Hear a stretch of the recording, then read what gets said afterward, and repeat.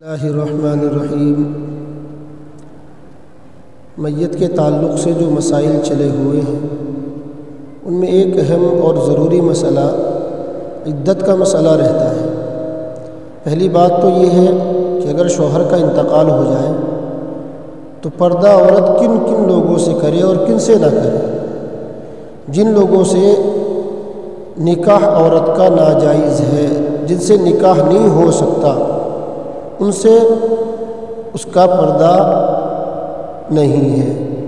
उनसे वो बात कर सकती है, मिल सकती है, लेकिन जिन लोगों से निकाह हो सकता है खा वो खालाजाद हो मामोजाद हो तयाजाद हो चचाजाद हो, या कोई ऐसा रिश्ता है जिसमें निकाह औरत का जायज़ है तो उस सूरत में उन सबसे पर्दा है। दूसरी बात, औरत इद्दत किस एतबार से गुजारेगी? याद रखने की बात है, अगर शोहर का इंतकाल कमरी तारीख की पहली चाँद के हिसाब से पहली तारीख में शोहर का इंतकाल हुआ है तो फिर खा महीना उनतीस का हो या तीस का हो, चार माह दस दिन गुजर जाने के बाद में इंतकाल के वक्त से औरत की इद्दत पूरी हो जाएगी।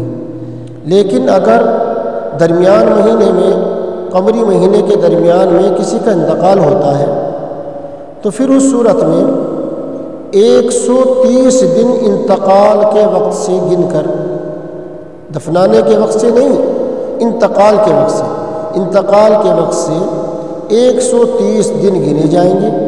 130 दिन जैसे ही पूरे होते हैं तो औरत की इद्दत पूरी हो जाएगी। अब जो इद्दत के ज़माने में उस पर पाबंदियाँ थी, निकाह ना करने की पाबंदी और आसाइश वाले कपड़े पहनने की पाबंदी, जैब ज़ीनत की पाबंदी, खुशबू इस्तेमाल लगाने पर, खुशबू के इस्तेमाल पर, ये सारी पाबंदियाँ अब उसकी ख़त्म हो गई हैं, इद्दत पूरी होते ही। तो ये दो मसले हैं। पहला मसला, किन किन लोगों से इद्दत के ज़माने में पर्दा है, ये बता दिया गया।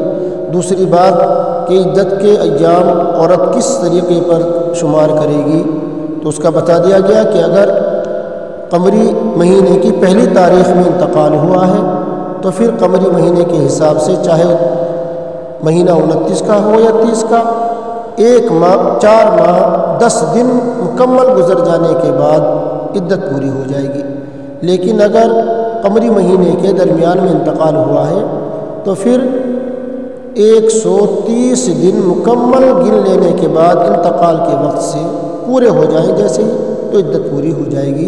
वमा तोफ़ी अल्लाह